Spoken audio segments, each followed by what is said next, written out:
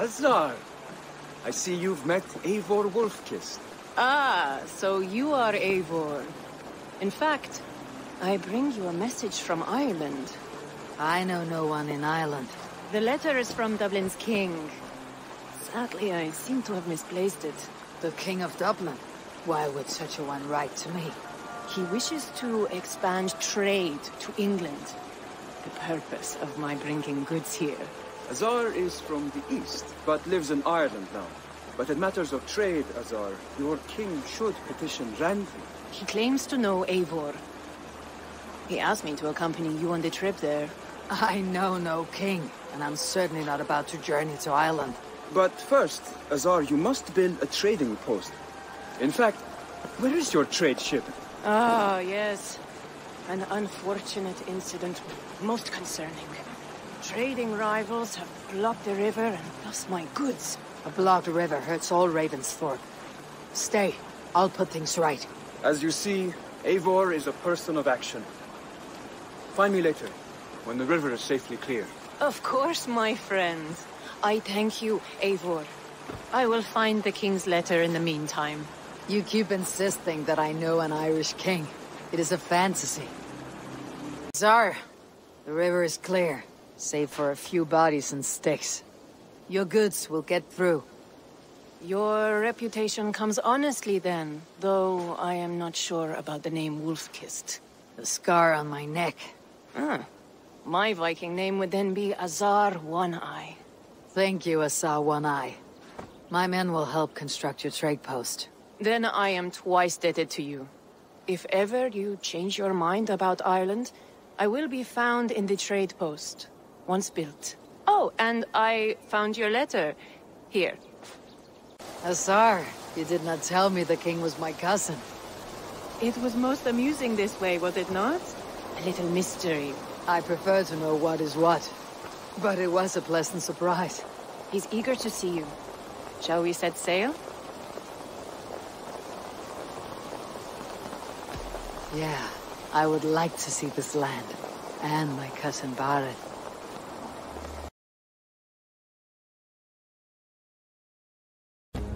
Ireland. A patchwork of petty kings jostling for hills and pastures and green, green glens. My adopted isle.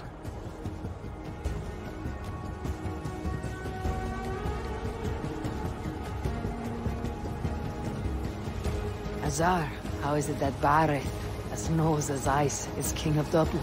Dublin is a Viking city, Eivor.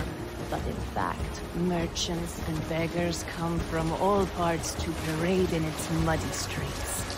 How to think of Barid as king of the city? It perhaps sounds grander than it is. Ireland has many, many kings. They litter the countryside, and Barid's throne is not secured.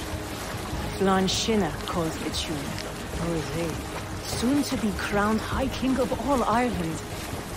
Flann distrusts Vikings, though he needs them. Barid will find a way. As a boy who wasn't much of a fighter, it somehow always came out alright. I'm sure what you say is true. Certainly he is loved by his people.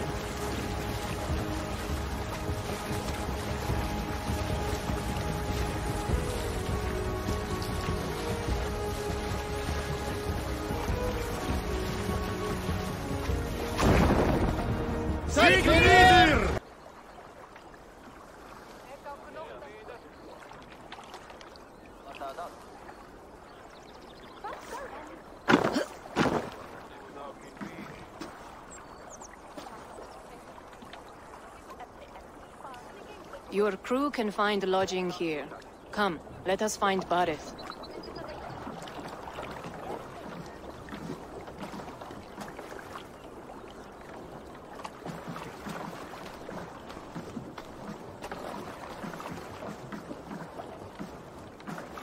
Eivor! Blood of my blood! Look at you! You have Aunt Rosta's cheekbones!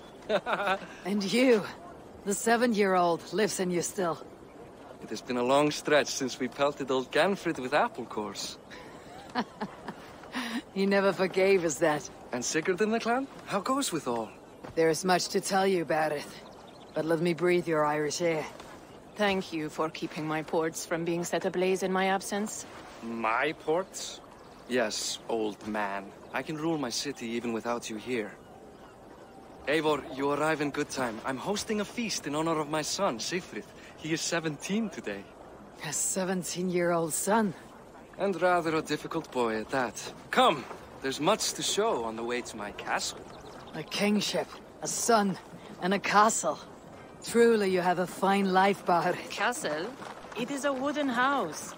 Finely crafted, to be sure, but in Shiraz, it would be home to a middling rug merchant. Lead me to your rug merchant's wooden hovel, Barid. Azar, I was not sure if I would see you here. Why is that? I thought you'd rather take stock of your wares than placidly observe caterwauling Vikings. And you... You would rather spend time with this gossiping auntie?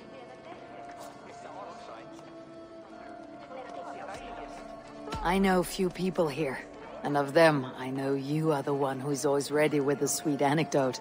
I do have some information you may find interesting. Siegfried's stomach doesn't agree with cheese. Had an accident about it last week. The embarrassing, bed-changing kind. He shat himself. Mortifying for a lad of that age. The kind of thing that would devastate him in front of his comrades. If one needed ammunition. Thank you, Azar. Your company is always enlightening.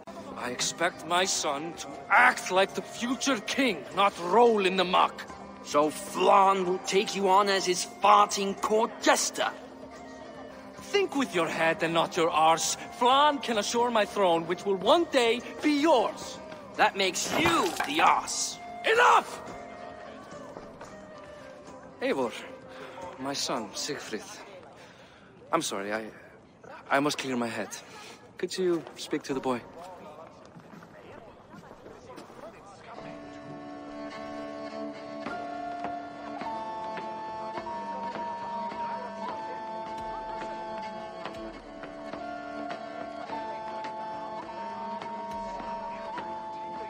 Only shitbirds mock their father under his own roof. Right. Because the cousin who just arrived has the authority over how I speak in my own home. In Norway, you'd be knocked to the ground by now. Come on then. If you've any guts worth respecting. Fine, whelp. You won't land a single punch.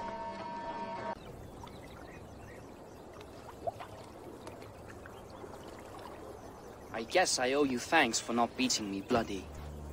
I am not here to quarrel with you, Siegfried. Da speaks so highly of you. I wanted to see if you lived up to the stories. Does anyone?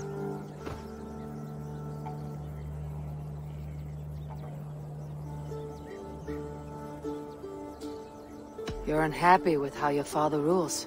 Da has the makings of a fine king, but he chooses to play the unctuous merchant instead.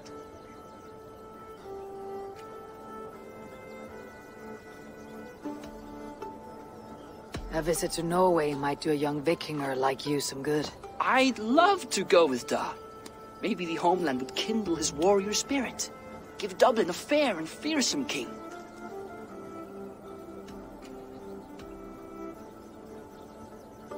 I've lost track of your father. Any idea where he might be? He wanted to clear his head.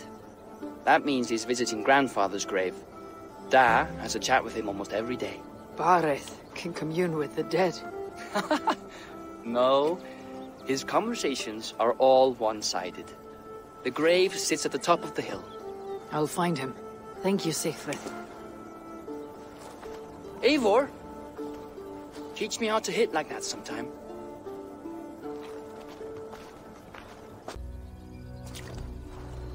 Barid. Why so uneasy? Ah. King must forever be on guard. When I'm upset or uncertain, I come here to seek my father's spirit. I didn't even ask after him. Somehow I knew he'd... Some years ago, he was destined to die in battle, and he did. He sits with Odin now. My family owes yours a solemn debt. That winter, your family came to stay with us. I remember your birth, screaming like a warrior. The plague year. No one would take us in. No one but your mother and father. I owe your family my life. And what a life we had. I have fond memories of you and I slipping out to hunt. In dead of night. Stars in the sky. Moonlight on snow.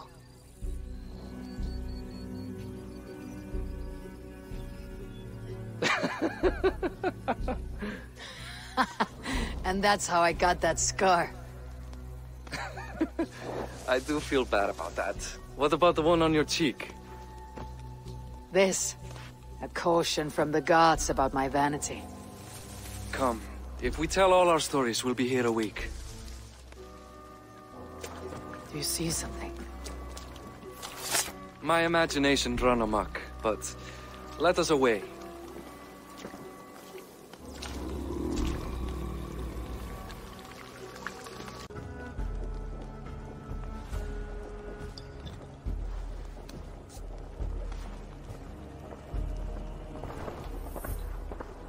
What? You know I am always the last to leave a party.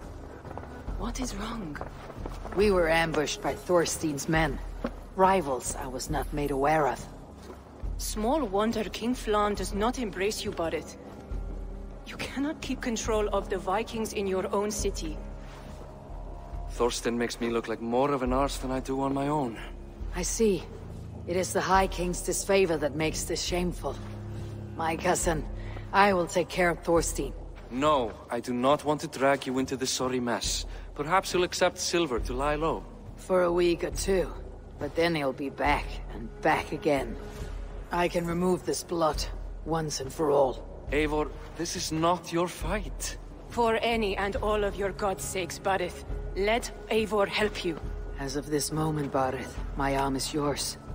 Whatever is needed to bring Flann's smile upon you, I will do. Eivor, I have never been so happy. Your family saved mine those years ago. A fitting reply would be to secure your throne. I will start with Thorstein. It happens that Siegfried may know something. He once ran with Thorstein's gang. Sadly true. Seek him tomorrow in the marketplace. After a night of carousing, he likes to recuperate there. We will begin to forge a bond with High King Flann on Rise of Sun.